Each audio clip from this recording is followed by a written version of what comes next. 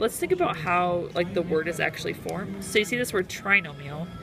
You know that the the stem tri, like uh, triangle or tricycle. So tri means three. Uh, and we can think of nomials being number. And so also think of like the stem bi meaning two and mono meaning one. So basically this means like this number has just one part. So like it's just all together. So like 3y is a monomial, 4 is a monomial, uh, 6y squared is a monomial. So what, what makes a monomial different from a binomial is a binomial has two numbers that are being added or subtracted together. so uh, like x plus 2 is a binomial. It has two different it has two different monomials being added or subtracted together. So y minus 3, this is also a binomial. It has two parts being added or subtracted together. 6y squared minus 3y. This is a binomial. It has two monomials being subtracted or added together.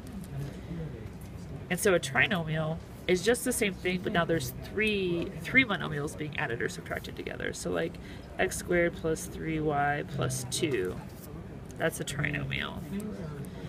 6y to the fifth plus 2y squared plus x.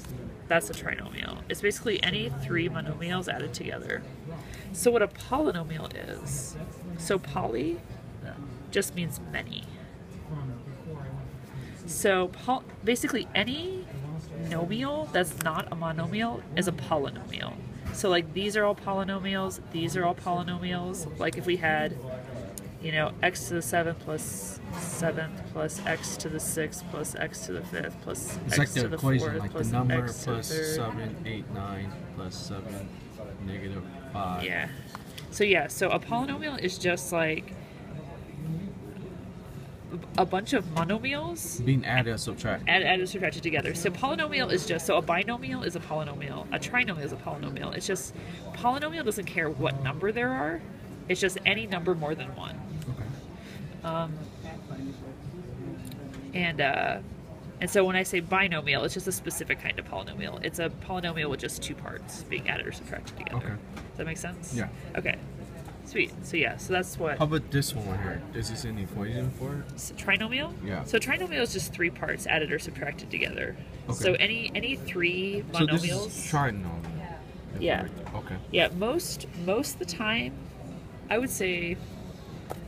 I don't know. I'm not gonna give you a percentage. A lot of the time, we still see trinomials, but we won't call them trinomials. You'll usually just hear them called polynomials, which is fine. It's just a more general term for what this is. Okay. It's kind of like how, like, football is a sport. Correct. Like, you could like look at somebody playing football and say like, oh, they're playing sports. It's true, but it's not very specific. This is just a less specific term for what a trinomial is. If that makes any sense. Yeah. Yeah. Okay. Okay. I get it now. Yeah.